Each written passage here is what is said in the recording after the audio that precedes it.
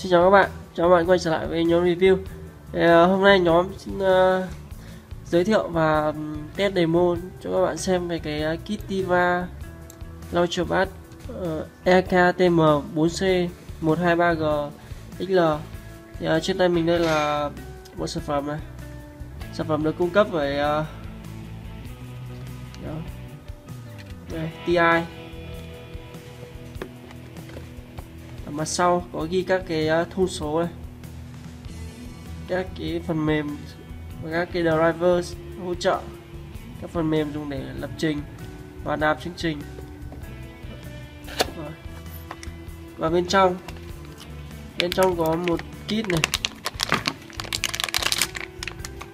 Đấy.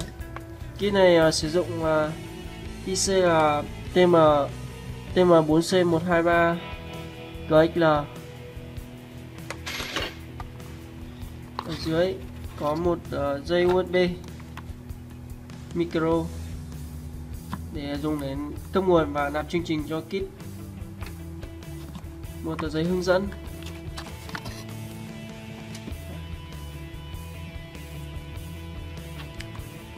Đây là các cái ờ, chân đầu vào đầu ra và chân nguồn. Đấy, khá là trực quan. Và chi tiết. Phía mặt sau này có các cái ờ, đây, giới thiệu từng khối này khối nguồn.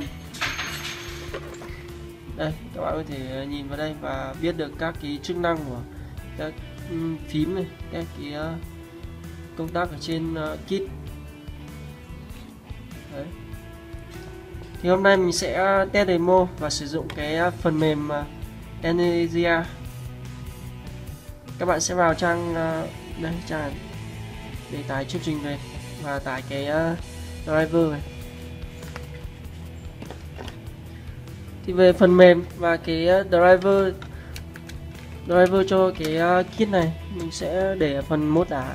Nếu mà các bạn nào không muốn à, không biết tải đâu thì uh, cứ vào đây tải nhá. Đây. Đây là giao diện của phần mềm này. Sử dụng khá là giống uh, Arduino IDE. Thì uh, đầu tiên các bạn phải uh, vào để uh, đây. Tức là phải add thêm cái uh, thư viện bo thư viện me, thư viện bot của cái uh, kit này vào nhé. các bạn uh, vào phần này chọn uh, gõ cái tên uh, tên uh, con IC chia ra. Các bạn gõ tm này. Và tm4 c123 Ờ, thì nó sẽ ra như này. Các bạn chỉ cần đến uh, ờ, cài đặt. Ở đây mình cài đặt rồi nên là nó sẽ có đây. Mình có thể chọn các cái phiên bản này. Ok go và tiếp đến là cài driver. Thì đầu tiên khi mà bạn cắm vào nó sẽ không nhận driver uh, của con IC ở trên uh, kit. Đây kết nối. Và cái thì công tắc ở đây, các bạn sẽ gạt về chế độ debug để làm chương trình. Cắm vào máy tính. Này.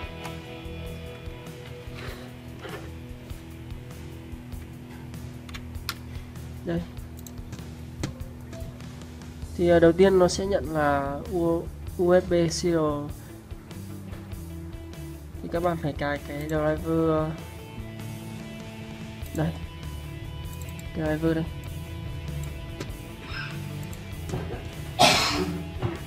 Đầu tiên nó sẽ kiểu uh, dấu chấm than đấy các bạn sẽ vào update này.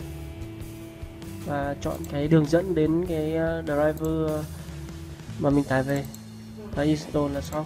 Đây mình cài rồi nên là nó sẽ không nó sẽ hiện là nhận uh, di tắc này fvkd này.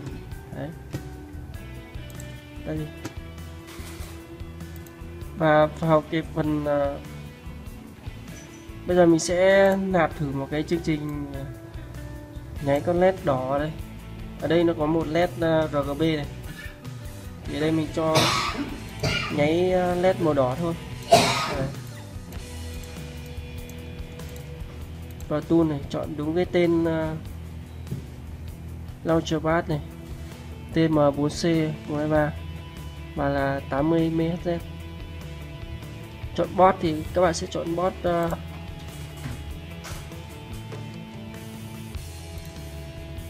đây. Khi mà cắm vào được rút ra này. Đấy thì ở đây nó sẽ nhận là con 7 con 7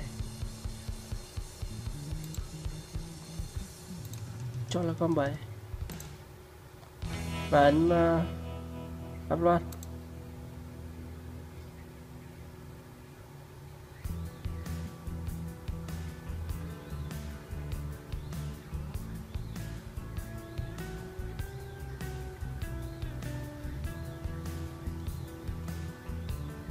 ok thì uh, quá trình uh, nạp đã thành công. Đây, các bạn có thể thấy nó sẽ chạy luôn cái hiệu ứng mà mình vừa nạp xuống. Thì ở trên đây mình chỉ hướng dẫn uh, nhanh cho các bạn uh, cách add thư viện và cài đặt driver cho cái kit Tiva TM4C123G này. Nhưng mà các bạn nào có thắc mắc gì về cái kit này thì có thể comment ở phía dưới. Thì nhóm sẽ hỗ trợ thì uh, hẹn gặp lại các bạn ở các video sau Cảm ơn các bạn đã quan tâm đến những video của nhóm. Hãy comment những gì bạn muốn và đừng quên like, share và subscribe cho nhóm nha. Và xin chào và hẹn gặp lại các bạn ở các video lần sau.